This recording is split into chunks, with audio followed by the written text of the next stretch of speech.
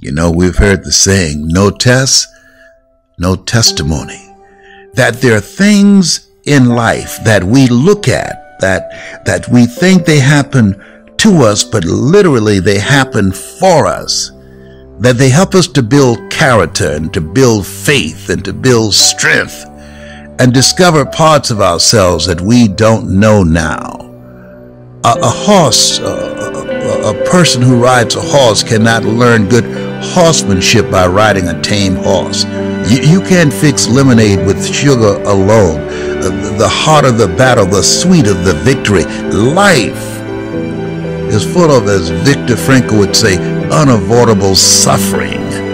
But even in the suffering, we discover some things about ourselves. Say you set a goal or vision for yourself. You know where you want to get to. You got a got a good idea, and you're on your way to going there. Listen to me. When it gets hard, and it is going to get hard. When it gets difficult, and it is going to get difficult. When it becomes challenging, and it is going to become challenging.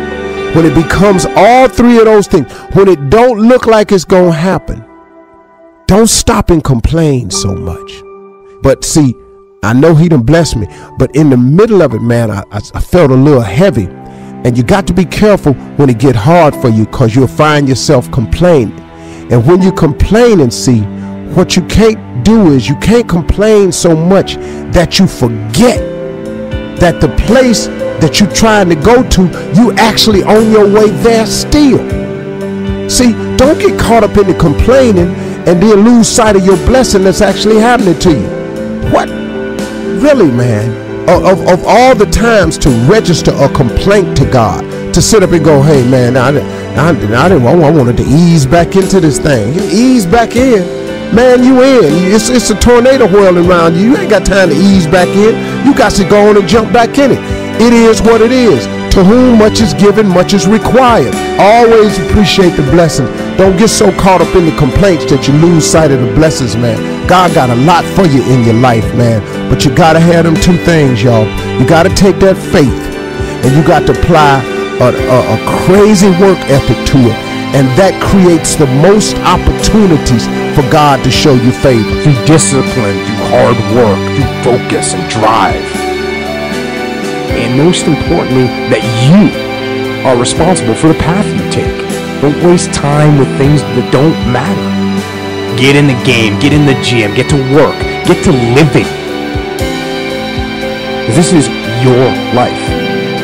Lead it. Lead your life. Lead it how you want to lead it every second of every day, take that leadership of.